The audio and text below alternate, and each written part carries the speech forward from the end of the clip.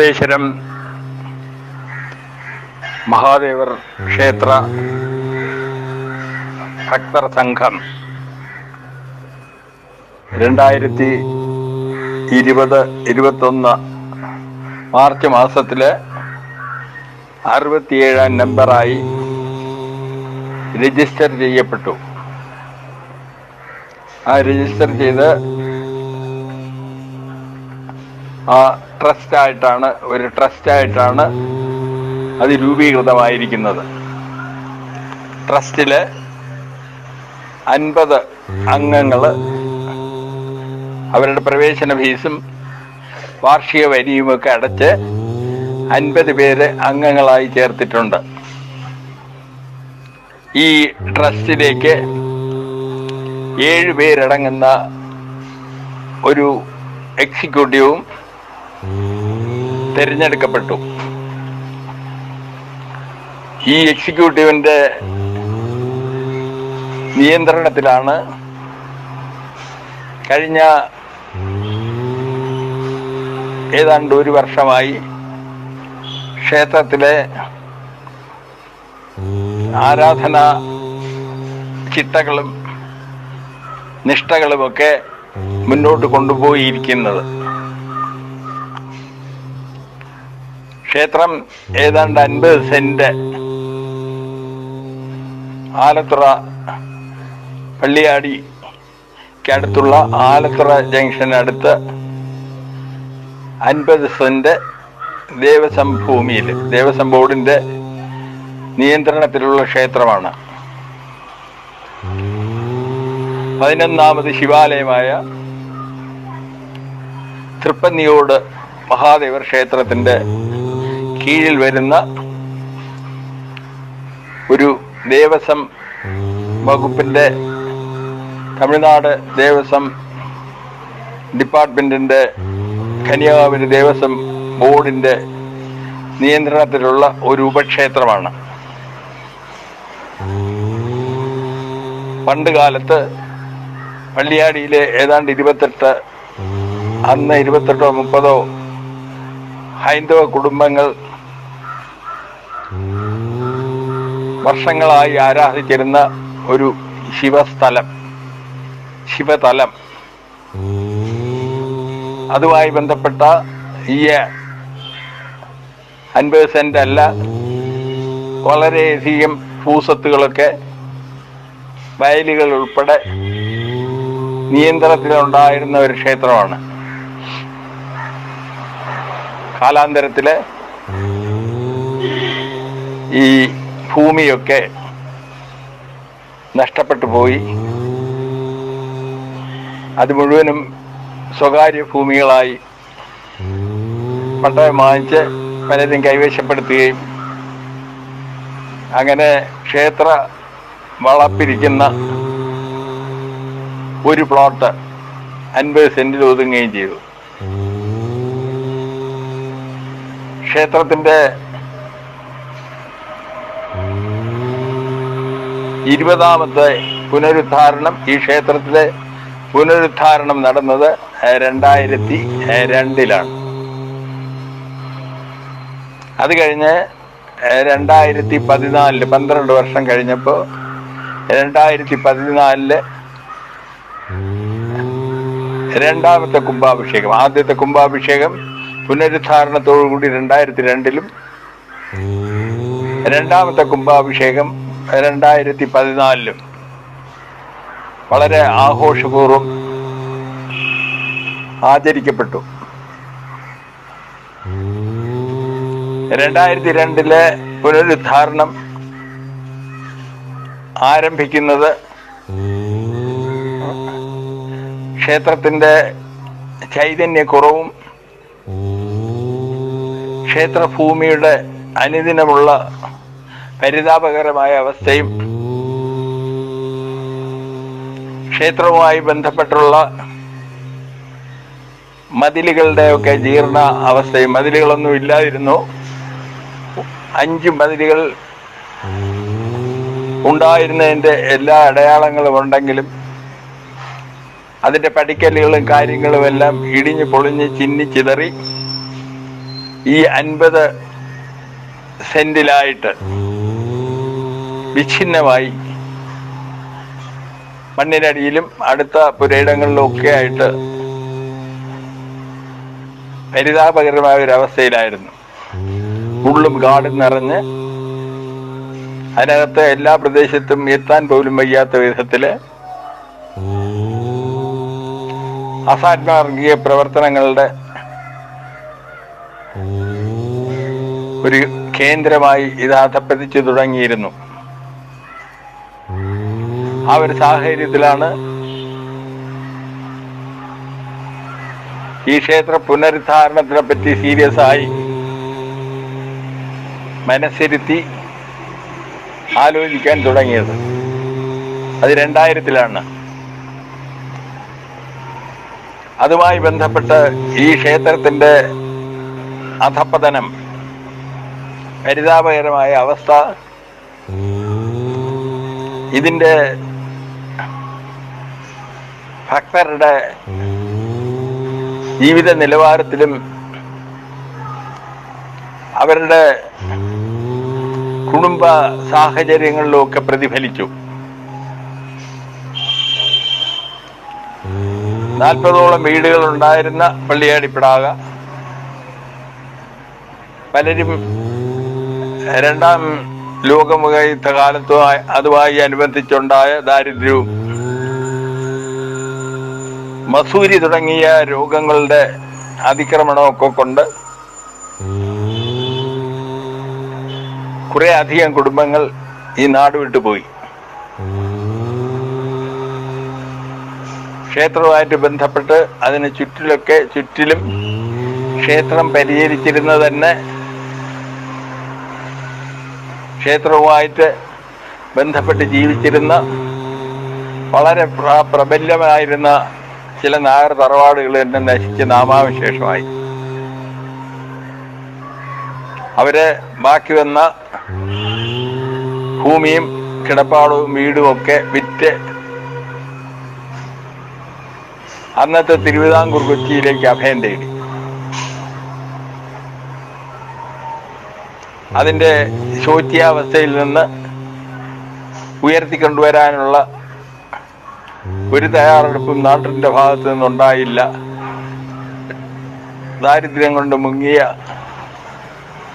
ഈ ഗ്രാമപ്രദേശം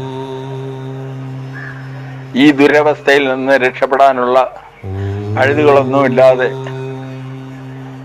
വേദനയോടുകൂടി രണ്ടായിരം വരെ പിടിച്ചു നിൽക്കുകയായിരുന്നു. ഇതിനിടയ്ക്ക് ക്ഷേത്രത്തിന്റെ മതിലുകളെല്ലാം തകർന്ന് തരിപ്പണമായിരുന്നുവെങ്കിലും ക്ഷേത്രത്തിന്റെ ശിവലിംഗം ഏതാണ്ട് എഴുന്നൂറ് വർഷം മുമ്പ് പ്രതിഷ്ഠിച്ച അതേ ശിവലിംഗം തന്നെ. വളരെ മനോഹരമായ പുറത്ത് ലിംഗരൂപത്തിൽ പ്രതിഷ്ഠിക്കപ്പെട്ടിട്ടുള്ള ഏതാണ്ട് ഒരടിക്ക് താഴെ പൊക്കമുള്ള വളരെ ചെറിയ ഐശ്വര്യപൂർണമായ പ്രകാശ പൂരിതമായ ഒരു ശിവലിംഗം ഒറിജിനൽ പ്രതിഷ്ഠിച്ച അതേ നിലയിൽ തന്നെ അത് സംരക്ഷിക്കപ്പെട്ടിരുന്നു. എല്ലാം തകർന്ന തരിപ്പണമായിരുന്നുവെങ്കിലും കഴിഞ്ഞ തലമുറ ആ പാതകം പാതകം എന്ന് പറയുന്നത് ഏതാണ്ട് നാലടി മൂന്നര നാലടിയോളം പൊക്കം വരുന്ന ക്ഷേത്ര പ്രതിഷ്ഠ നടത്തുന്ന ചെയ്യുന്ന ശ്രീകോവിലെ. അത് ഉൾക്കൊള്ളുന്ന ആ ഉയർന്ന പീഠത്തെയാണ് പാതകം എന്ന് പറയുന്നത്. ആ പാതകം വളരെ മനോഹരമായ കുത്തുപണിയോട് കൂടിയുള്ള പാതകത്തിന്റെ കല്ലുകളെല്ലാം തന്നെ ഒരു ഡാമേജും ഇല്ലാതെ രണ്ടായിരത്തി രണ്ടായിരത്തിലെ പുനരുദ്ധാരണത്തെ പറ്റി ആലോചിക്കുമ്പോഴും നിലനിന്നിരുന്നു. ആ പാതകത്തിന്റെ പുറത്ത് ശിവലിംഗത്തെ പ്രൊട്ടക്ട് ചെയ്യാനുള്ള ഉദ്ദേശത്തോടു കൂടി ഗ്രാനൈറ്റ് ഉണ്ട് കരിങ്കല്ല് കൊണ്ട് കരിങ്കല്ല് തന്നെ ഇത്രയും പാറ ഉണ്ടായിരുന്ന ഒരു ക്ഷേത്ര അങ്കണത്തിൽ നിന്ന് കരിങ്കല്ലൊന്നും വെടിവെച്ചോ അവിടെ അടിച്ചു കീറി എടുക്കുകയോ ചെയ്തിട്ടില്ല. പടിക്കല്ലുകളെ ചിന്നിച്ചിതറി കിടന്ന മതിൽക്കെട്ടുമായിട്ട് ബന്ധപ്പെട്ട പടിക്കല്ലുകളോ കൽത്തൂണുകളൊക്കെ ഉണ്ടായിട്ടും അതിനൊന്നും ഒരു നാശം വരുത്താതെ പുറത്ത് നിന്ന് എങ്ങനെയോ കരിങ്കല്ല് ലോറിയിലോ മറ്റോ കൊണ്ടുവന്ന് ലോറി അന്ന് ഈ ക്ഷേത്ര വളപ്പിലേക്ക് എത്താൻ ഉള്ള സാധ്യത പോലുമില്ല. റോഡില്ല. ചുറ്റും ഈ ആലത്തറ ജംഗ്ഷനിൽ നിന്ന് ഏതാണ്ട് രണ്ട് ഫർലാങ്ങോളം ദൂരം മുഴുവനും വയലുകളുടെ വരമ്പ് മാത്രമേ ഉണ്ടായിരുന്നുള്ളൂ. ഈ സ്ഥിതി ആലോചിക്കുമ്പോൾ രണ്ടായിരത്തി രണ്ടായിരത്തിൽ വെച്ച ദൈവപ്രശ്നപ്രകാരം ക്ഷേത്രത്തിന്റെ ഒറിജിനൽ പ്രതിഷ്ഠ ഈ ശിവലിംഗവും ശ്രീകോവിലും ശ്രീകോവിലിന്റെ പാതകവും അതിൽ പണ്ട് ഒരു ശ്രീകോവിലിന്റെ സംവിധാനം പടിക്കെട്ടുകളോടുകൂടിയൊക്കെ ഉണ്ടായിരുന്നുവെന്ന് വേണം വിചാരിക്കാൻ. പക്ഷേ അതിന്റെ അവശിഷ്ടങ്ങളൊന്നും കാണാനില്ല. അവിടെ പാതകത്തിന്റെ പുറത്ത് മുകളിൽ താഴോട്ടൊന്നും ഫൗണ്ടേഷൻ എന്നും തൊടാതെ ഏതാണ്ട് ഒൻപതടി ഒമ്പതര അടിയോ മറ്റാണെന്ന് തോന്നുന്നു. ഒമ്പതര അടി പൊക്കത്തിൽ ഗ്രാനൈറ്റ് കൊണ്ട് ഒരു ക്ഷേത്ര സിഇഒയിൽ കെട്ടി അതിനെ അത് ഏതാണ്ട് നൂറ് വർഷം വരും. ആ ആ കെട്ടിയ അതിന്റെ മുകളിൽ അന്നത്തെ സമ്പ്രദായം അനുസരിച്ചുള്ള സുർക്കിയും ശർക്കരയും ചുണ്ണാമ്പും ഒക്കെ ചുണ്ണാമ്പ് കല്ലും ഒക്കെ കൂടെ കൊണ്ടുള്ള കോൺക്രീറ്റ് കൊണ്ട് അതിനെ കവർ ചെയ്ത് ചോർച്ചയൊന്നുമില്ലാതെ ഉള്ള ഒരു ശ്രീകോവിൽ സംവിധാനവും അതിനെ ഒരു മുൻ വാതിൽ വലിയ വാതിലൊന്നുമല്ല എങ്കിലും ചെറിയൊരു വാതിൽ. അരശ് തടിയിലോ മറ്റോ ഉണ്ടാക്കിയ പഴയ പട്ടയൊക്കെ ഇട്ട് മുറുക്കുന്ന ഒരു വാതിലും ഉണ്ടായിരുന്ന അവസ്ഥയിലാണ് രണ്ടായിരത്തിലെ ഈ ക്ഷേത്ര പുനരുദ്ധാരണത്തെ പറ്റി ചിന്തിക്കുന്നത്. ക്ഷേത്ര പുനരുദ്ധാരണം അനിവാര്യമാണെന്നുള്ള ഒരു തോന്നൽ ഉണ്ടാകാൻ തന്നെ ഒരു കാരണമുണ്ടായി. ആ കാരണം എന്താണെന്ന് പറഞ്ഞാൽ ക്ഷേത്രത്തിന്റെ മുകളിലെ ഈ സുർക്കിയും ചുണ്ണാമ്പും ഒക്കെ കൊണ്ടുണ്ടാക്കിയിരുന്ന മേൽ തട്ട് അതിന്റെ ഉയരമുള്ള കോൺക്രീറ്റ് എന്ന് പറയാൻ വയ്യ. കോൺക്രീറ്റ് ചെയ്തതുപോലെയുള്ള തറ. കൂരയല്ല. ആ തറ അതിലെ ഒരു അരച്ച് വളർന്നു പൊങ്ങുകയും അത് പൊങ്ങി തന്നെ ഒരു അഞ്ചാറ് വർഷമായി. അഞ്ചാറ് വർഷം കൊണ്ട് ആ അരച്ചിന്റെ വേരുകൾ ഈ മേൽ തറയുടെ സുർക്കിയൊക്കെ ആയതുകൊണ്ട് അതിന്റെ ഇടയ്ക്കൂടെയൊക്കെ വേരുകൾ അകത്തേക്ക് ആഴ്ന്നിറങ്ങി ചെവരുകൾ വഴി താഴോട്ട് വന്ന് ചെവരിനകത്ത് കൂടെ വേരിന്റെ അംശങ്ങൾ പുറത്തേക്ക് വന്ന് ചെവര് വെടിക്കാൻ തുടങ്ങി. അതിൽ രണ്ട് വേരുകൾ മുൻവശത്തെ വാതിലിന്റെ രണ്ട് വശത്തുമായി ഇറങ്ങി താഴെ വന്ന് തറയിൽ അത് സ്വയം സ്ഥാനം കണ്ടെത്തി. ഏതാണ്ട് താങ്ങ് പോലെ നിന്ന് ആ താങ്ങിന്റെ ബലം കൊണ്ടും വേരിന്റെ വളർച്ച കൊണ്ടും വാതിൽ പടി തന്നെ ഇളകി. മുൻവശത്തുള്ള വാതിലുമായിട്ട് നിന്ന് ചുവര് വെടിച്ചു കീറി. മുകളിലെ പൊടിച്ചു പൊങ്ങിയ ആൽ അരശ് ഏതാണ്ട് പത്ത് ഇരുപതോളം പൊടിപ്പുകൾ ഇതെല്ലാം പറയുന്ന അഞ്ചാറ് രണ്ടായിരം അല്ല ഒരു രണ്ടായിരത്തി പതിനഞ്ചിലെ പത്തിലെയൊക്കെ ആരംഭിച്ച പ്രതിഭാസമാണ്. ആ അരശ് രണ്ടായിരം ആയപ്പോഴേക്കും പത്തോ ഇരുപതോ ബ്രാഞ്ച് വലിയ ശാഖകൾ അതിൽ നിന്ന് പൊട്ടി വളർന്ന് പൊങ്ങി രണ്ടാൾ പൊക്കത്തിൽ നാല് വശത്തേക്കും വിന്യസിച്ച് ഓരോന്നിനും രണ്ടര മൂന്നിഞ്ച് ഡയമീറ്ററിലുള്ള തടി. ഉണ്ടായി പത്തിരുപത് ബ്രാഞ്ച് എന്ന് പറഞ്ഞാൽ വലിയൊരു അരശി വൃക്ഷം.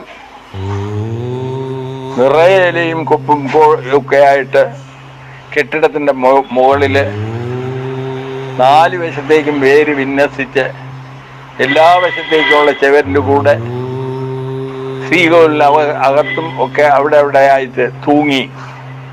മുകളിൽ മഴവെള്ളം വീഴുമ്പോൾ ഈ വേര് വഴി അത് ഇറങ്ങി തുള്ളി തുള്ളിയായി മഹാദേവരുടെ പ്രതിഷ്ഠ ശിവലിംഗത്തിൽ വരെ തുള്ളി തുള്ളിയായി വെള്ളം വീഴുകയും ഏത് നിമിഷവും ഈ ചുവര് അടർന്നു വീഴുന്ന ബിംബത്തിന് തന്നെ തകരാറുകൾ സംഭവിക്കുമെന്നുള്ള നില ഉണ്ടാകുകയും ചെയ്തപ്പോഴാണ് സീരിയസ് ആയി എന്തെങ്കിലും ചെയ്തില്ലെങ്കിൽ പത്ത് അഞ്ഞൂറോ എഴുന്നൂറോ വർഷം പ്രായമുള്ള പഴക്കമുള്ള ഒരു മഹാശിവക്ഷേത്രം ഇടിഞ്ഞ് പൊളിഞ്ഞ് ഇടിയുന്ന കല്ലുകൾ കൊണ്ട് വീണ് ശിവലിംഗത്തിന് തന്നെ നാശം സംഭവിക്കുമെന്നുള്ള ഒരു അവസ്ഥ സംജാതമാകുകയും അതിന്റെ അടിസ്ഥാനത്തിലാണ് ദേവപ്രശ്നം വച്ച് എന്താണ് ചെയ്യേണ്ടതെന്ന് തീരുമാനിക്കാനായിട്ട് നാട്ടുകാരെയൊക്കെ വിളിച്ചു കൂട്ടി രണ്ടായിരത്തിൽ ഒരു ദൈവപ്രശ്നം.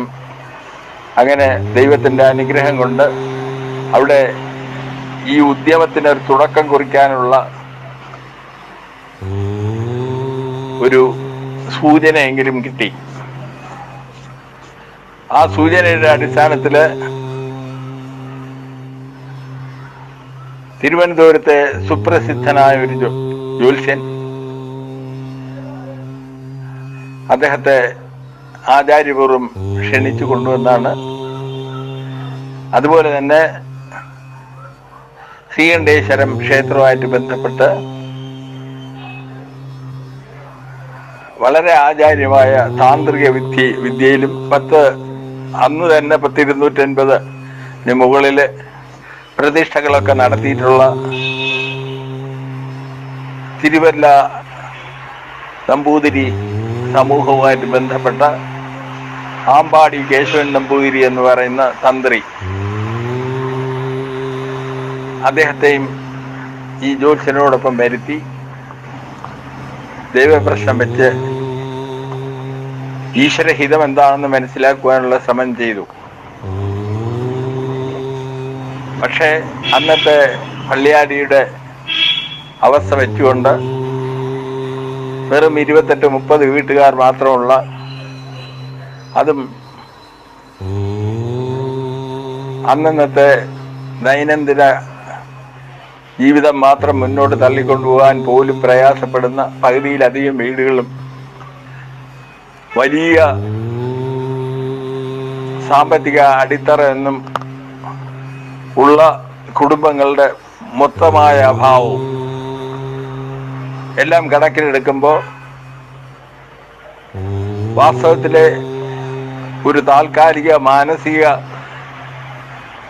ഒരു എസ്കേപ്പ് ഉണ്ടാക്കുക എന്നുള്ളതല്ലാതെ അതിനപ്പുറത്തേക്ക് എന്തെങ്കിലും ചെയ്യാൻ സാധിക്കുമെന്നുള്ള പ്രതീക്ഷ കൊണ്ടല്ല ഈ ദൈവപ്രശ്നം തയ്യാറാക്കിയത് പക്ഷെ പ്രശ്നത്തിൽ ഉരുവായി വന്നത് ആകെ കൂടെ അങ്കലാപ്പുണ്ടാക്കുന്ന ഒരു റിയാക്ഷനാണ് ഭഗവാന്റെ ഭാഗത്ത് നിന്നുണ്ടായത്. ദൈവപ്രശ്നം തന്നെ കാര്യമായ രീതിയിൽ ആരംഭിക്കുന്നതിന് ദൈവഹിതം ഒരു തടസ്സമായി ആരൂടൻ തന്നെ തടയപ്പെട്ടു. തടഞ്ഞത് മുഖ്യദേവനായ മഹാദേവർ തന്നെയാണ്. അതിലെ സൂചന ഈശ്വര വചനം എന്ന് പറഞ്ഞാൽ പതിനാല് തലമുറകൾ കൊണ്ട് ഈ ക്ഷേത്രം ഒറിജിനലായിട്ട് സ്ഥാപിച്ചിട്ട് ഏതാണ്ട് എഴുന്നൂറ് വർഷം ആയി എന്നാണ് ദേവപ്രശ്നത്തിൽ വെളിവായത്. പതിനാല് തലമുറകൾ കൊണ്ട് പാടെ അവഗണിക്കപ്പെട്ട് അതിന്റെ എല്ലാ ചൈതന്യവും നഷ്ടപ്പെട്ട് അൻപത് സെന്റ് ഭൂമിയുള്ള ബാക്കി പൂസത്തുകളും ഒക്കെ പോയി. അതിന്റെ പ്രധാന മതിലുകളെല്ലാം ഇടിഞ്ഞു തകർന്ന് തരിപ്പണമായി. പതിനാല് തലമുറകൾ കൊണ്ട് ആരും കാര്യമായി ശ്രദ്ധിക്കാതിരുന്ന ഈ ശിവക്ഷേത്രത്തെ ഒരു ദേവപ്രശ്നം കൊണ്ട് പരിഹരിച്ചു കളയാമെന്ന് വന്നിരിക്കുന്ന ഭക്തന്മാരോട് ഒരു അനുഭാവപൂർവമായോ ദയാപൂർവമായോ കൃപാപൂർവമായോ ഉള്ള ഒരു സൂചനയല്ല ഭഗവാൻ നൽകിയത്. ഈ വൈകിയ വേളയിൽ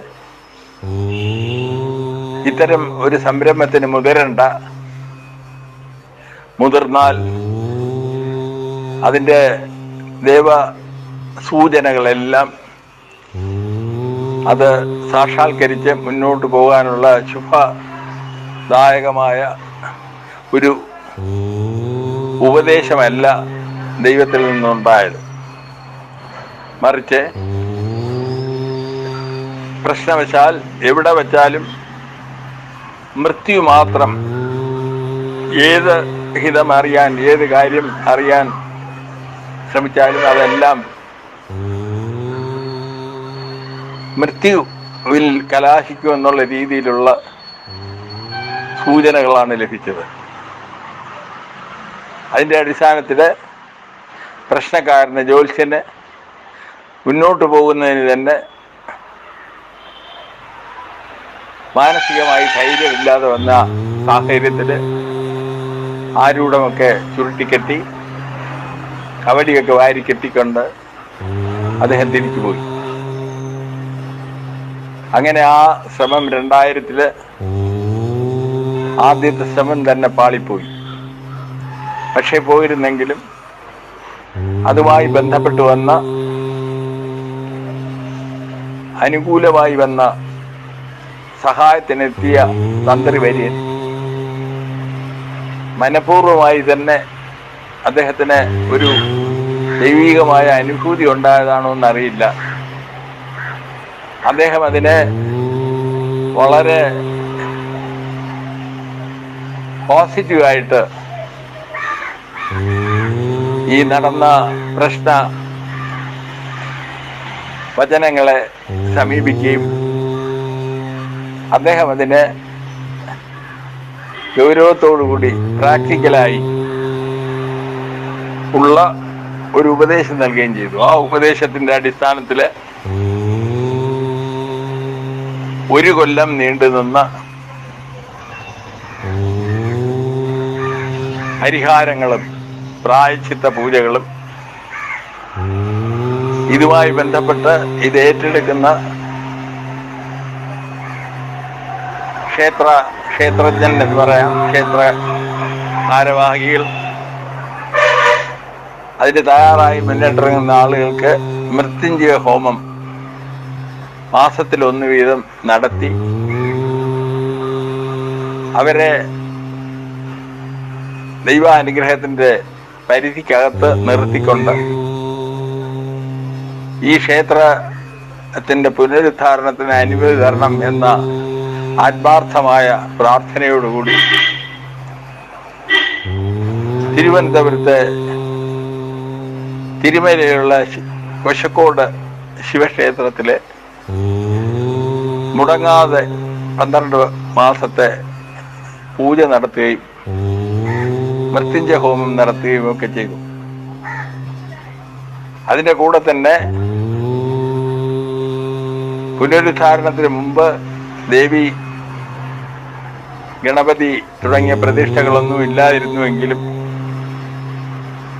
ദേവിയും ഗണപതിയുടെയൊക്കെ സജീവ സാന്നിധ്യം ബോധ്യപ്പെട്ടതിന്റെ അടിസ്ഥാനത്തിൽ ചെന്തിട്ട ഭഗവതി ക്ഷേത്രത്തിൽ ദേവിയുടെ അനുഗ്രഹത്തിനും പഴവങ്ങാടി ഗണപതി ക്ഷേത്രത്തിൽ ഗണപതി ഭഗവാന്റെ വിഘ്നങ്ങൾ തീർക്കാനുള്ള അനുഗ്രഹ ആശസ്സുകൾക്ക് വേണ്ടി പ്രത്യേക പൂജകളും മാസം തോറും നടത്തി അത് മുന്നോട്ട് പോയി. അങ്ങനെ ഒരു വർഷത്തെ ഒരു യജ്ഞാധിഷ്ഠിതമായ സമീപനത്തിലൂടെ സാധനയിലൂടെ ആരാധനാക്രമയത്തിലൂടെ ഒരു വർഷം കടന്നതിന് ശേഷം ഭഗവാന്റെ പ്രായ- പ്രായച്ചിത്ത. പ്രത്യേക പൂജാ സംവിധാനങ്ങളോടുള്ള അദ്ദേഹത്തിന്റെ അനുഗ്രഹ അന്തരീക്ഷം. അതിനോടുള്ള സമീപനം മാറിയിട്ടുണ്ടോ എന്ന് അറിയുന്നതിന് വേണ്ടി വീണ്ടും ഒരു ജ്യോത്സ്യനെ പുതിയ പുതിയ എന്ന് പറഞ്ഞാൽ പഴയ ജ്യോത്സ്യൻ ആദ്യത്തെ അനുഭവത്തിന്റെ അടിസ്ഥാനത്തിൽ അദ്ദേഹത്തിന് വരാൻ തന്നെ താല്പര്യം കാണിച്ചില്ല. അങ്ങനെ ഒരു പുതിയ ജോത്സ്യനെ പാത്രമംഗലം പത്മകുമാർ എന്ന് പറയുന്ന പരമ്പരാഗതമായ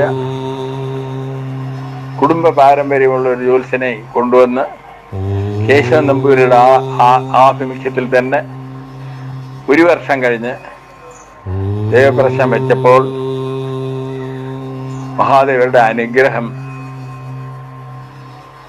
പ്രബലമായി അനുഭവപ്പെട്ടു.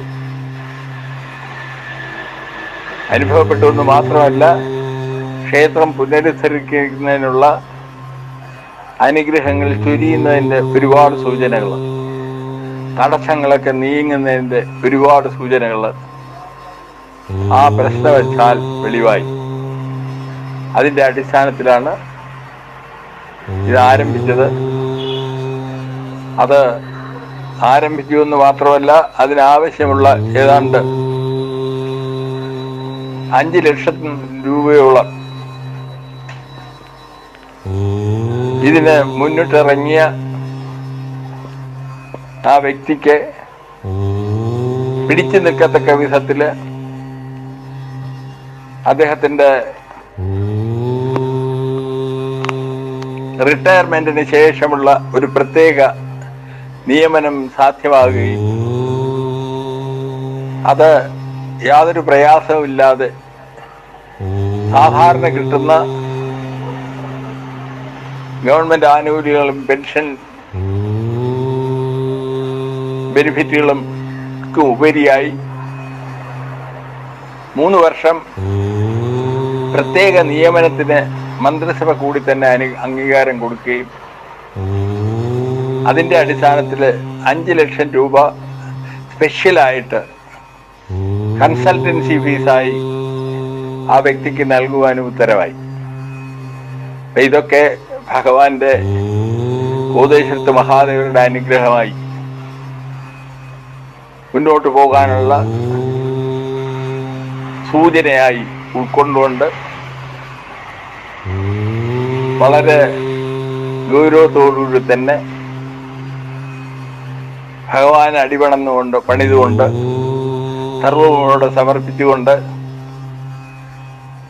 ഈശ്വര കൃപയ്ക്ക് വേണ്ടിയുള്ള നിത്യപൂജകളും കാര്യങ്ങളും ഒക്കെ വളരെ വിപുലമായ രീതിയിൽ ആരംഭിക്കുകയും അന്ന് നിലനിരുന്ന ഇരുപത്തെട്ട് വീട്ടുകാരെ കഴിവുള്ളിടത്തോളം പങ്കെടുപ്പിച്ചുകൊണ്ട് പ്രത്യേക പൂജാ സംവിധാനങ്ങൾ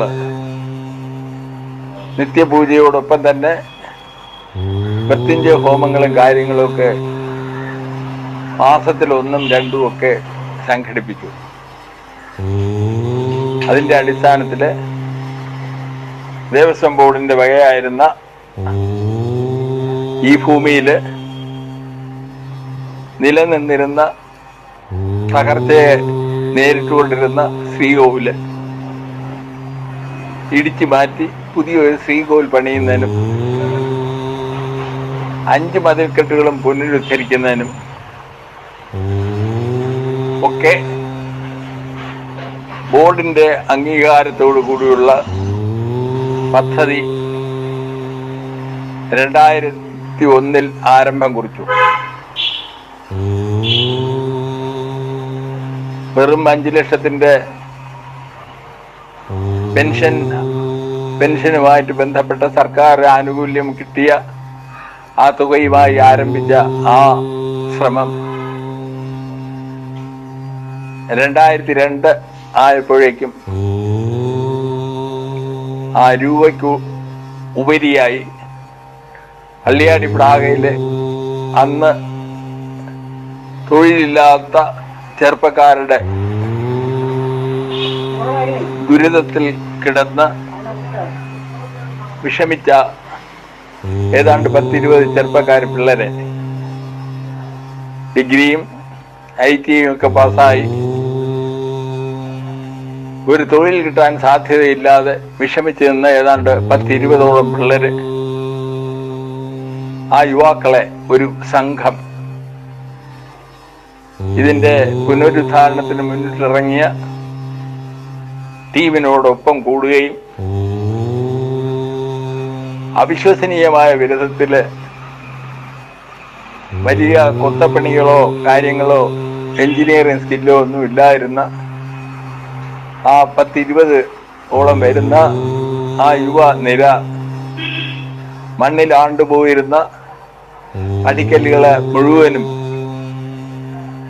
ജെ സി ബിയും അതുപോലുള്ള യന്ത്ര സാമഗ്രികളുടെ സഹായത്തോടെ പുറത്തേക്ക് കൊണ്ടുവരികയും അതൊക്കെ കഴുകി വിളപ്പിച്ച് അതിനെ ലേബൽ ചെയ്ത്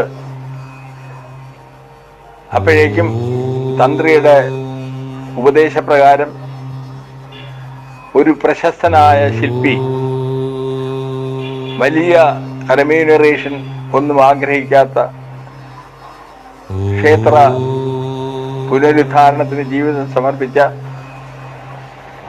ചിറയിങ്കേരി രത്നാകരൻ എന്ന് പറയുന്ന പഴയ ആറ്റിങ്ങൽ കൊട്ടാരത്തിലെ രാജാവിന്റെ അച്ഛനായിരുന്ന ആളിന്റെ കൊച്ചുമകൻ. അദ്ദേഹം ഇതറിഞ്ഞ് ഇവിടെ എത്തുകയും അദ്ദേഹം ഇതിന്റെ എഞ്ചിനീയറിങ്ങും വാസ്തുപരമായിട്ടും തച്ച് തച്ചുശാസ്ത്രപരമായിട്ടുള്ള എല്ലാ ഉപദേശങ്ങൾക്കും നേതൃത്വം നൽകുകയും ടീമിന് ഉത്തേജനം പകരുകയൊക്കെ ചെയ്തപ്പോൾ തന്ത്രിയുടെയും ആ സത്യശാസ്ത്ര വിദഗ്ധത്തിന്റെയും അനുഗ്രഹാസ്യങ്ങളോടുകൂടി അനുകരണ അനുദിനം ഉയർന്നു വരുന്ന ക്ഷേത്രത്തിന്റെ മതിലുകളും ക്ഷേത്രത്തിന്റെ പുനരുദ്ധാരണ പ്രക്രിയയും പരിസരവാസികളെയൊക്കെ അത്ഭുതപ്പെടുത്തിക്കൊണ്ട് ദിവസം ഏതാണ്ട് പത്ത് ഇരുപത്തിയഞ്ച് പേര് നിരന്തരം രാത്രി ട്യൂബ് ലൈറ്റ് ഒക്കെ കിട്ടി. അവിടെ താമസിച്ചുകൊണ്ട് തന്നെ വലിയ അണ്ടാവുകളിലൊക്കെ കഞ്ഞിയും പയറും ഒക്കെ വെച്ച് അവിടെ തന്നെ ഏതാണ്ട് താമസിച്ചുകൊണ്ടുള്ള ഒരു ആറു മാസത്തെ കഠിനമായ അധ്വാനം കൊണ്ട് വാസ്തവത്തിലെ ധനപരമായ ഉയർച്ച അല്ല മാനസികവും ശാരീരികവുമായ സമർപ്പണം അർപ്പണം. അതിന്റെ ഒരു വശത്ത് ദൈവത്തിന്റെ താങ്ങലിൽ കൂടെ ഉണ്ടായപ്പോൾ അത്ഭുതകരമായി ഏതാണ്ട് ഒരു വർഷത്തിനകം തന്നെ ശ്രീകോൽ പൊട്ടുകയും പൊങ്ങുകയും പുതിയ പ്രതിഷ്ഠയ്ക്കുള്ള എല്ലാ സാഹചര്യങ്ങളും ഉണരുകയും അങ്ങനെ രണ്ടായിരത്തി രണ്ട് മാർച്ചിൽ ഈ ക്ഷേത്രം സാക്ഷാത്കരിക്കപ്പെടുകയും ശിവലിംഗം എഴുന്നൂറ് വർഷം മുമ്പ് പ്രതിഷ്ഠിക്കപ്പെട്ടതെന്ന് വിശ്വസിക്കപ്പെടുന്നു. ശ്രീകോവിൽ എന്റെ പാതകം അന്ന് അന്നത്തെ അളവനുസരിച്ച് തയ്യാറാക്കപ്പെട്ടതാണെന്ന് അതും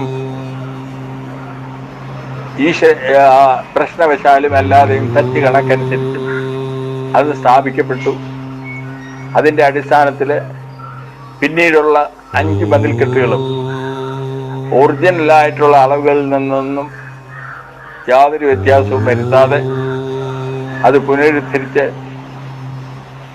അവിടെ ഇവിടെയും ചിതറിക്കിടന്ന കല്ലുകളെയൊക്കെ തിരിച്ചു കൊണ്ടുവന്ന് ആ കല്ലുകളെയൊക്കെ അടുക്കി ഉയർത്തി ആ നഷ്ടപ്പെട്ടു പോയ സ്ട്രക്ചറുകളെയൊക്കെ വീണ്ടെടുത്തുകൊണ്ട് രണ്ടായിരത്തി രണ്ട് മാർച്ച് മാസത്തിൽ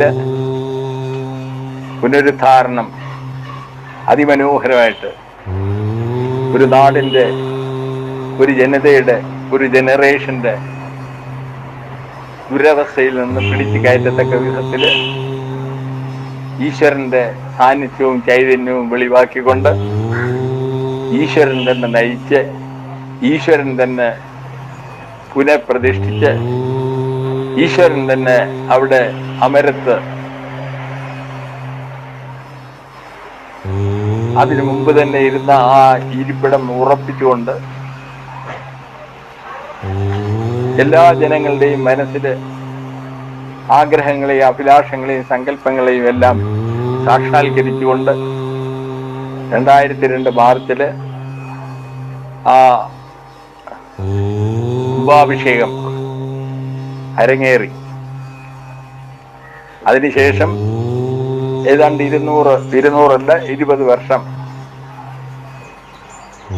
അതിൽ പന്ത്രണ്ട് വർഷം കഴിഞ്ഞപ്പോൾ രണ്ടായിരത്തി പതിനാലിൽ ആദ്യത്തെ കുംഭാഭിഷേകത്തിനുള്ള സമയമായി. സാധാരണ അതുവരെയുള്ള അനുഷ്ഠാനങ്ങളും പൂജാവിധികളും ഒക്കെ അതിന്റെ യഥാവിധി നടക്കുകയും ദൈവ അനുഗ്രഹത്തിന് എന്തെങ്കിലും ഭംഗം നേടുകയും ഒക്കെ ചെയ്യുകയാണെങ്കിൽ സാധാരണഗതിയിൽ അടുത്ത കുംഭാഭിഷേകം സാധ്യമാകുക അത്ര എളുപ്പമല്ല. പലയിടത്തും വിഘ്നങ്ങളിൽ മുട്ടി അത് നീണ്ടു നീണ്ടു പോകുന്ന അനുഭവമാണുള്ളത്. പക്ഷേ ഈ ക്ഷേത്രത്തെ സംബന്ധിച്ചിടത്തോളം കൃത്യമായി തന്നെ രണ്ടായിരത്തി പതിനാല് മാർച്ചിൽ പൂയം നക്ഷത്രമാണ് ഇവിടുത്തെ പ്രതിഷ്ഠാ ദിനം. മീനമാസത്തിലെ പൂയം നക്ഷത്രം. രണ്ടായിരത്തി പതിനാലിലെ മീനം മാസത്തിലെ പൂയം നക്ഷത്രത്തിന് പന്ത്രണ്ട് വർഷം കഴിഞ്ഞ രണ്ടാമത്തെ കുംഭാഭിഷേകവും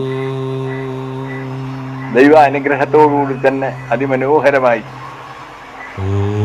ആഘോഷിക്കപ്പെട്ടു. ദേവിയും ഗണപതിയും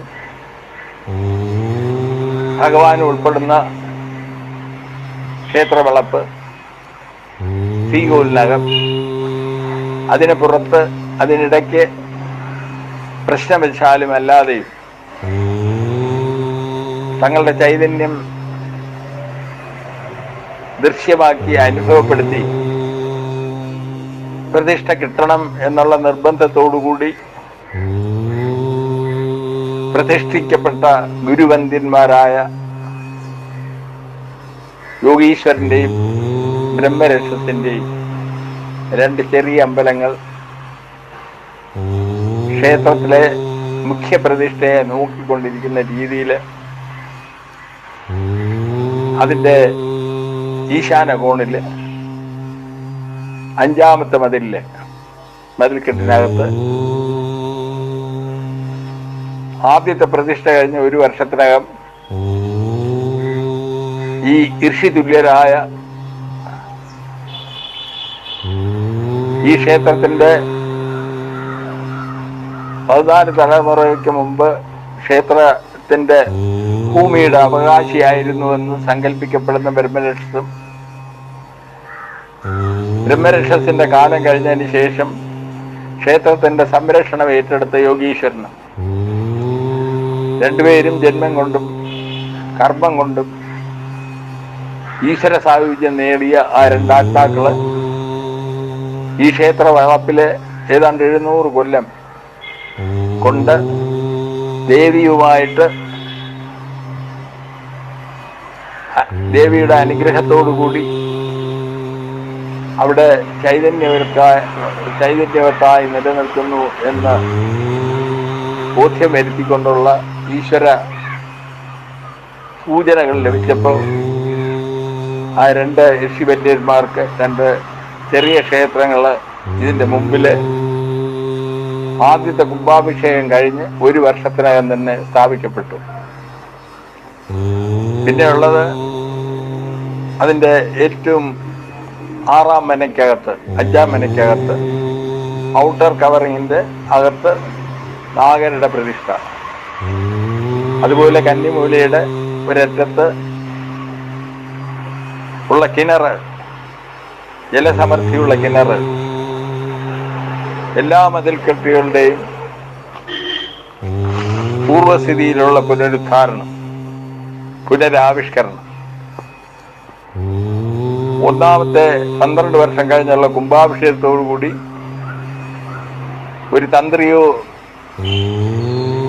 പൂജാരിമാരോ ഒക്കെ വന്ന് അവർക്ക് ശുദ്ധി ചെയ്യുന്നതിനും റെസ്റ്റ് എടുക്കുന്നതിനും ഒക്കെ ഉള്ള എല്ലാ സജ്ജീകരണങ്ങളത്തോടും കൂടിയ ഒരു രണ്ട് മുറി വരുന്ന ഒരു സംവിധാനം. മുൻവശത്തെ ഗേറ്റിന്റെ ഫ്രണ്ടിലായിട്ട് ഒരു ആർച്ച്. ക്ഷേത്രത്തിന്റെ ശ്രീകോവിലിന്റെ മുമ്പേ ആയിട്ട് ഭഗവാന് നിരന്തരമായി നീക്കൊണ്ടുള്ള നന്ദിയുടെ പ്രതിഷ്ഠ. നന്ദിയുടെ പ്രതിഷ്ഠ. നമസ്കാര മണ്ഡപം അതോടൊപ്പം തന്നെ പൊക്കി ഒരു കൊല്ലത്തിനകം നമസ്കാര മണ്ഡപം അങ്ങനെ എല്ലാ സജ്ജീകരണങ്ങളോടും കൂടി രണ്ടായിരത്തി പതിനാല് കൂടെ ആയപ്പോഴേക്കും ക്ഷേത്രത്തെ സംബന്ധിച്ചിടത്തോളം ക്ഷേത്രത്തിന്റെ ബേസിക് ആയിട്ടുള്ള കാര്യങ്ങളും പൂജാവിധികളുടെ സമയോചിതമായ ചിട്ടയായ പ്രവർത്തനങ്ങളും ഒക്കെ സാക്ഷാത്കരിക്കപ്പെട്ടു. ഇപ്പോ ഇരുപത് കൊല്ലം പൂർത്തിയായിരിക്കുന്നു. ഇരുപതാമത്തെ വാർഷിക പൂജ ഈ വരുന്ന മീനമാസം പൂയം നക്ഷത്രത്തിന് ഏപ്രിൽ പത്താം തീയതി അതിനുള്ള ദിവസം കുറിച്ചു ഒരു ദിവസത്തേക്കുള്ള പൂജ എന്നുള്ള നിലയിലാണ് ദിവസം കുറിച്ചെങ്കിലും അത്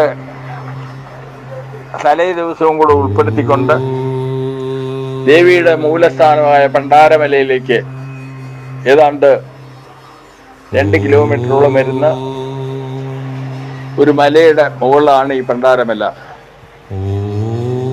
അത് ഈ ക്ഷേത്രത്തിൽ നിന്ന് ഏതാണ്ട് രണ്ട് കിലോമീറ്റർ അകലെയാണ്. ആ മല കയറി വേണം അവിടെ പോയി പൊങ്കാലയിടാൻ കോവിഡ് കാലം വന്നപ്പോ ക്ഷേത്രവുമായിട്ട് ബന്ധപ്പെട്ട വാർഷിക പൂജകളിലൊക്കെ പൂർണത നഷ്ടപ്പെട്ടു പോയി. ചടങ്ങുകൾ മാത്രമായി അവശേഷിച്ചു. പക്ഷേ ഇരുപത് കൊല്ലം ഈ കഴിഞ്ഞ രണ്ട് കൊല്ലം കൊണ്ടാണ് രണ്ട് കൊല്ലമായിട്ട് ഈ ഇരുപത് കൊല്ലത്തിൽ രണ്ട് കൊല്ലം കൊണ്ടാണ് തടസ്സങ്ങളൊക്കെ ഉണ്ടായത്.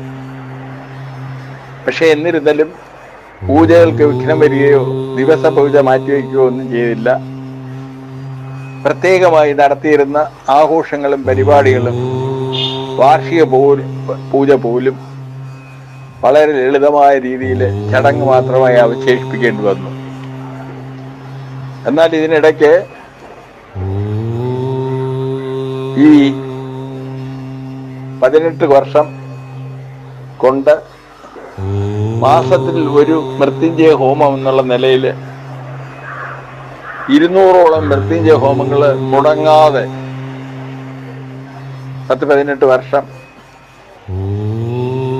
മാസത്തിലൊന്ന് വീതം വെളുപ്പിന് അഞ്ചു മണിക്ക് ഒരു പ്രത്യേക ആചാര്യൻ തന്നെ വന്ന് പൂജ നടത്തത്തക്ക വിധത്തിൽ ഒരു തടസ്സമില്ലാതെ ഇരുന്നൂറ് മൃത്യുഞ്ജയ ഹോമങ്ങൾ ഇവിടെ നടത്തുവാൻ കഴിഞ്ഞു.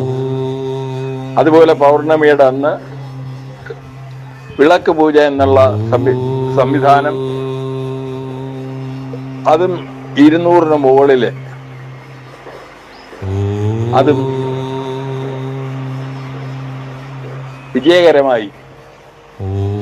വിളക്ക് പൂജകൾ ഒരു തടസ്സവുമില്ലാതെ ഓർഗനൈസ് ചെയ്ത് മുന്നോട്ട് പോകാൻ കഴിഞ്ഞു.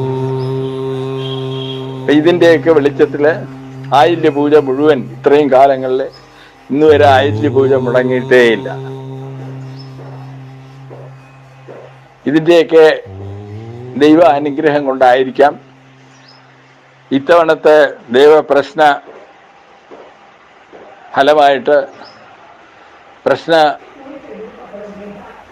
ആരൂഢത്തിൽ തന്നെ ഭഗവാന്റെ സമ്പൂർണമായ അനുഗ്രഹം. എല്ലാവിധ ചൈതന്യത്തോടും കൂടി മുന്നോട്ട് സധൈര്യം ഈശ്വര അനുഗ്രഹത്തോടുകൂടി മുന്നോട്ട് പോകാനുള്ള വ്യക്തമായ സൂചനകൾ ഇത്തവണത്തെ ദിവസം കുറിക്കാൻ വേണ്ടി ഏർപ്പെടുത്തിയ പ്രശ്നവശാൽ തെളിവായി സൂചിപ്പിക്കപ്പെട്ടു. അതിന്റെ അടിസ്ഥാനത്തിൽ ഒരു ദിവസം എന്നുള്ള പൂജ ഒരു ദിവസം കൊണ്ട് പണ്ടാരമലയിലെ ഒരു ഗിരിവലവും വിളക്ക് പൂജയും ഒക്കെ ഉൾപ്പെടുത്തിക്കൊണ്ട് ഏതാണ്ട് പതിനെട്ട് വർഷം മുടങ്ങാതെ നടന്നിരുന്ന പുഷ്പാഭിഷേകം ഈ വർഷത്തെ വാർഷികത്തിന് പുനരാവിഷ്കരിക്കത്തക്ക വിധത്തിൽ അതിനെയൊക്കെ സംയോജിപ്പിച്ചുകൊണ്ട് വിപുലമായ ആഘോഷ പരിപാടികളോടുകൂടി ഇത്തവണത്തെ വാർഷിക പൂജയ്ക്ക് രൂപം നൽകിയിരിക്കുക അതോടൊപ്പം തന്നെ പുതിയ ട്രസ്റ്റിന്റെ ആദ്യത്തെ സംരംഭം എന്നുള്ള നിലയിൽ വളരെ അധികം സജീവമായ പങ്കാളിത്തവും പ്രതീക്ഷിക്കുന്നുണ്ട്. മൂന്ന് വർഷം കൊണ്ട് ഇവിടെ വരാനോ ക്ഷേത്രത്തിലെ ആരാധന നടത്തുവാൻ സാധിക്കാത്ത കുടുംബങ്ങളിൽ പലരിൽ നിന്നും പ്രചോദനകരമായ പ്രതികരണങ്ങളാണ് ഉണ്ടായിട്ടുള്ളത്. ഈ തവണത്തെ വാർഷികം അതുകൊണ്ട് തന്നെ ചൈതന്യപൂർവം പൂർവാധികം ഭംഗിയായി മുന്നോട്ട് കൊണ്ടുപോകാൻ കഴിയുമെന്ന് വിശ്വസിക്കുകയാണ്. ട്രസ്റ്റിന്റെ ആദ്യത്തെ വാർഷിക ജനറൽ ബോഡിയും ഒൻപതാം തീയതി വൈകുന്നേരം നാല് മണിക്ക് ക്ഷേത്ര വളമ്പ് ക്ഷേത്രത്തിന്റെ അങ്കണത്തിൽ വെച്ച് നടത്തുന്നതിന് തീരുമാനിച്ചിട്ടുണ്ട്. അങ്ങനെ ഇടയ്ക്ക് കൊറോണയുമായിട്ടൊക്കെ ബന്ധപ്പെട്ട ചില ചെറിയ വിഘ്നങ്ങൾ ഏർപ്പെട്ടുവെങ്കിലും കോതേശ്വര ക്ഷേത്രം പൂർവാധികം ശക്തിയോടുകൂടി ഉണർന്നു വരുന്നതിന്റെ ഉയർത്തെഴുന്നേൽക്കുന്നതിന്റെ ഉയർത്ത് കൊണ്ടുവരുന്നതിന്റെ അനുഗ്രഹം ചൊരിയുന്നതിന്റെ എല്ലാ സൂചനകളും അനുഭവപ്പെട്ടിട്ടുണ്ട്. അതിന്റെ അടിസ്ഥാനത്തിൽ അതിലേക്കുള്ള വിപുലമായ തയ്യാറെടുപ്പുകൾ നടക്കുകയാണ്. ഇരുപത്തിയെട്ട് വീടുകൾ മാത്രമായി അവശേഷിച്ചു പോയ പള്ളിയാടി ഗ്രാമം പള്ളിയാടിയിലെ പ്ലാഗ എന്ന് പറയാം ആ പടാകയിൽ ഈ പതിനെട്ട് വർഷത്തിനിടയ്ക്ക് വീടുകളുടെ എണ്ണം ഏതാണ്ട് അൻപത്തിരണ്ടോ അൻപത്തി മൂന്നോ ആയി ഉയർന്നിട്ടുണ്ട്. അതിലും ഒക്കെ വിശേഷകരമായി പറയാനുള്ള ഒരു കാര്യം ഈ അൻപത്തിരണ്ട് അൻപത്തിമൂന്ന് വീടുകൾ ആയിട്ട് എണ്ണം വർദ്ധിക്കുക മാത്രമല്ല അതിന്റെ സാമ്പത്തികമായും ഗുണപരവുമായിട്ടുള്ള അവസ്ഥയിൽ തന്നെ ഒരുപാട് മാറ്റങ്ങൾ സംഭവിച്ചു. ഒരുപക്ഷെ പഴയ കൂരയും മഴമയിൽ മാത്രം കരകയറാൻ വയ്യാതെ നിലനിൽക്കുന്ന വീടുകൾ ഏതാണ്ട് ഇല്ല എന്ന് തന്നെ പറയാം. തൊണ്ണൂറ്റി അഞ്ച് ശതമാനം വീടുകളും എല്ലാം മോഡേൺ ഇതനുസരിച്ച് വളരെ ഐശ്വര്യപൂർണമായ സ്ഥിതിയിലേക്ക് ഉയർത്തപ്പെട്ടു. ഇന്നത്തെ അവസ്ഥ അനുസരിച്ച് പള്ളിയാടി പ്രാഗയിലെ തൊഴിലില്ലാത്ത ക്ഷേത്ര പുനരുദ്ധാരണ സമയത്ത് ഏതാണ്ട് പത്തിരുപത്തിയഞ്ച് ചെറുപ്പക്കാര് തൊഴിലില്ലാതെ നിന്നിരുന്ന ആ അവസ്ഥ ദയനീയമാണെങ്കിൽ പോലും ആ ദുരവസ്ഥയെ മുതലെടുത്തുകൊണ്ടാണ് ക്ഷേത്രം ഏതാണ്ട് മുന്നോട്ട് കൊണ്ടുപോയത്. സമയബന്ധിതമായി ആറു മാസം കൊണ്ട് തന്നെ തീർക്കാൻ സാധിക്കുന്നതിന്റെ അധ്വാനത്തിന്റെ വലിയൊരു പങ്ക് ആ ചെറുപ്പക്കാരുടെ നിരയാണ് സംഭവിച്ചത്. ഇന്നത്തെ അവസ്ഥ അങ്ങനെ തൊഴിലില്ലാതെ ഒരു ചെറിയ കാര്യനിർവഹണത്തിന് പോലും ഒരു മണിക്കൂർ ഫ്രീ ആയി തൊഴിലില്ലാത്ത ഒരാളിനെ പോലും ഈ അൻപത് അമ്പത്തി നാല് വീടുകളിനകത്ത് നിന്ന് കിട്ടാൻ ഇല്ല എന്ന് തന്നെ പറയാം. അത്രയ്ക്ക് സാമ്പത്തിക അടിത്തറ ഭദ്രമായി മിക്കവാറും എല്ലാവരും തൊഴിലുമൊക്കെയായി. സ്ത്രീകളെ സംബന്ധിച്ചും ഇത് കഴിഞ്ഞ ഏതാണ്ട് ഇവിടെ പത്ത് പതിനാറ് വർഷം കൊണ്ട് ഇരുപത് ഇരുപത്തിയേഴ് വീട് മാത്രമായി അവശേഷിച്ചിരുന്നിടത്ത് മുപ്പതിൽ ചില്ലുവാനം കല്യാണങ്ങൾ ഇപ്പോ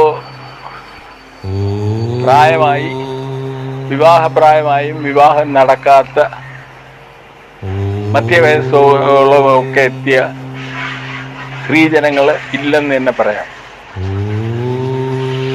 വിവാഹപ്രായമായിട്ടും വിവാഹം നടക്കാതെ ഉള്ള ദുരവസ്ഥ ഒരു പഴങ്കടയായി മാറി. അങ്ങനെ എല്ലാ തരത്തിലും ശാന്തിയും സമാധാനവും സഹവർത്തിത്വവും. മറ്റ് മതവിശ്വാസികളുടെയും സമുദായങ്ങളുടെയും സഹകരണവും സമഭാവനയും എല്ലാം കൊണ്ട് വളരെ ദൈവീകമായ ഒരു അന്തരീക്ഷത്തിൽ ഈ വില്ലേജിന്റെ അന്തരീക്ഷം ശാന്തിയും സമാധാനത്തിൽ അധിഷ്ഠിതമായി ഒരു ശുഭോതർക്കമായ ഭാവി വാഗ്ദാനം ചെയ്തുകൊണ്ട് ഈ ക്ഷേത്രം അതിലേക്കുള്ള അനുഗ്രഹാശ്വാസികളുടെ കിരണങ്ങൾ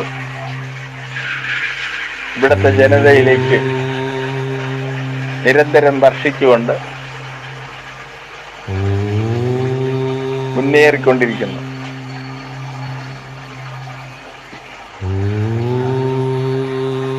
ഈ വർഷത്തെ വാർഷിക പൂജയിൽ